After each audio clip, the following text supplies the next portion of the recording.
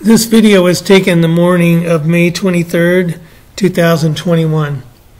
In this video, you will see the male bring a kill to the nest and leave it with the female. You will see the female eat, and it is a little bit graphic.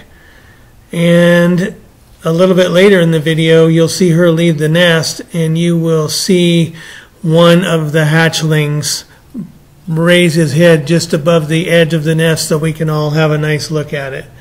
Anyway, I hope you enjoy. Thanks for watching.